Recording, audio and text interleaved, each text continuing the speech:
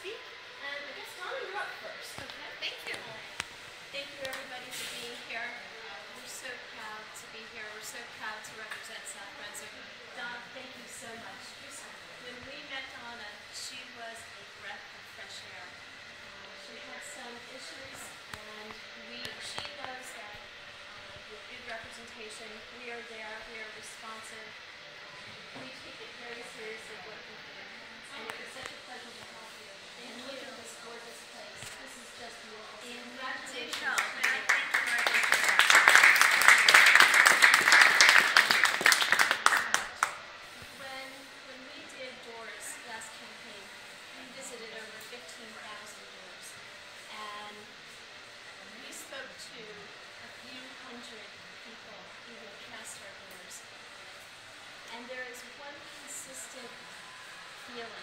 one consistent message.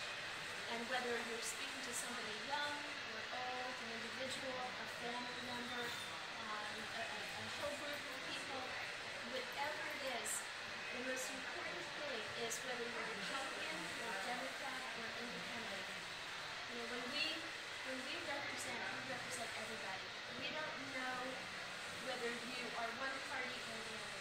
It is very important that you have representation that takes it seriously, that rolls their sleeves up, that makes sure that even if they vote.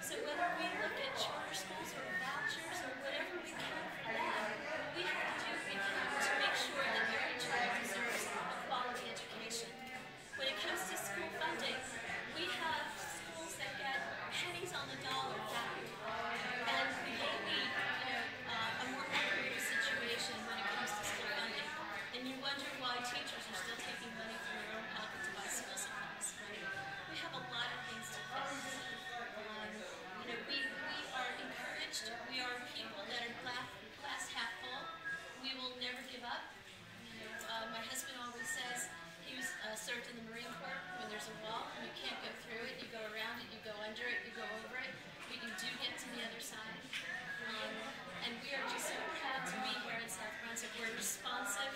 Um, we reach out to our friends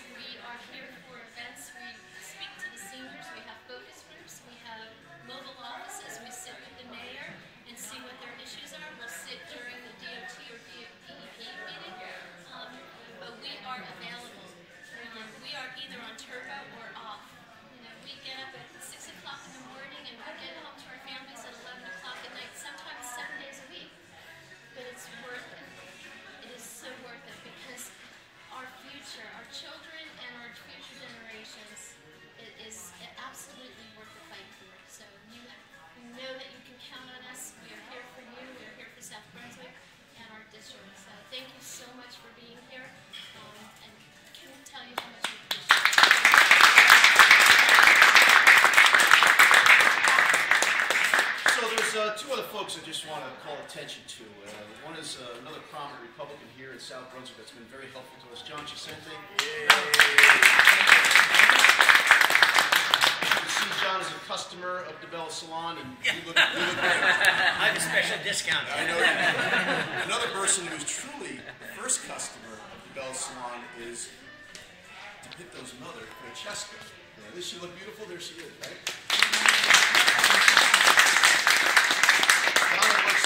Donna works on her mother's hair personally. It looks fantastic. So we remember when Donna was first opening, right? The height of the recession. It takes a lot of courage to go into business for oneself. Hello, John Sullivan. How you doing, sir? Good to see you. Donna. And uh, it takes a lot of courage to go into business for yourself, especially in the midst of a recession. You've done it, and you're going to be successful. You're here every day. She's got employees. Small business is the backbone of New Jersey's economy.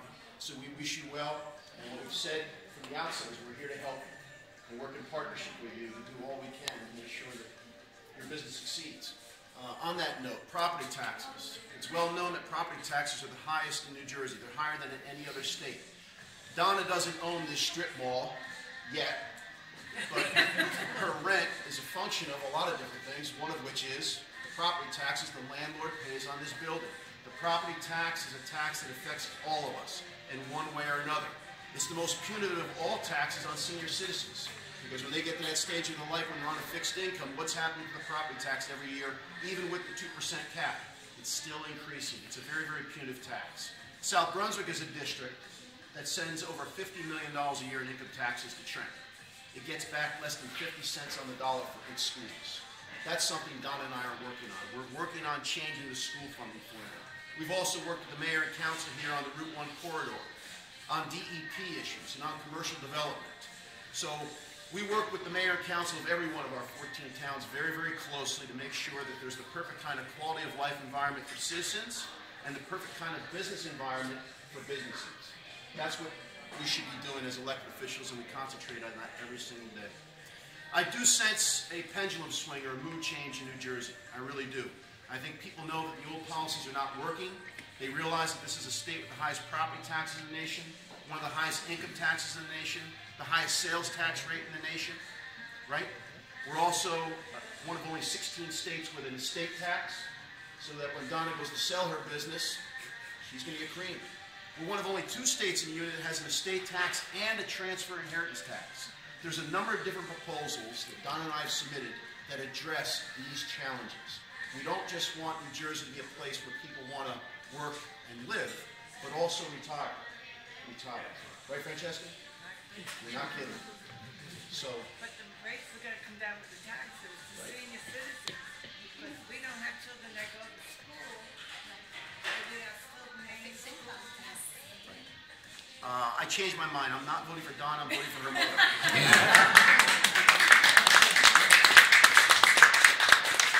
she gets it.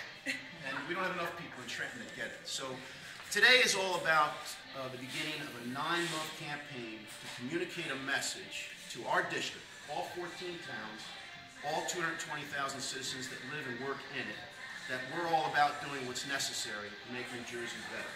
And we're looking to have that message communicated throughout the state. I really think there's a real opportunity again here to take advantage of the pendulum swing, the mood swing that's taking place. Uh, Don and I feel very, very strongly about that. I'll conclude by uh, sharing a quote from my favorite president, some consider our greatest president, and our first Republican president. We'll celebrate his birthday in a couple weeks, Abraham Lincoln. He once said, I have great faith in the people. Give them the facts, and they'll do the right thing every single time. Don and I will be taking a very factual message to each and every one of our citizens throughout the 16th district over the course of the next nine months. And when you do that, things usually work out really, really well. With your help, we know it will on election day. So thank you all again for being here. Thank you for your generosity and graciousness.